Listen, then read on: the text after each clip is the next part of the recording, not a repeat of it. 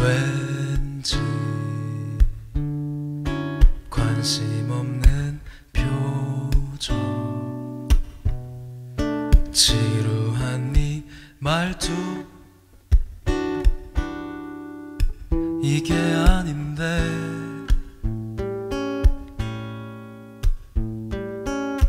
날씨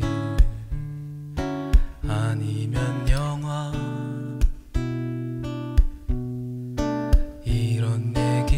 말고 눈을 마주하고 오늘이 지나면 달라질 거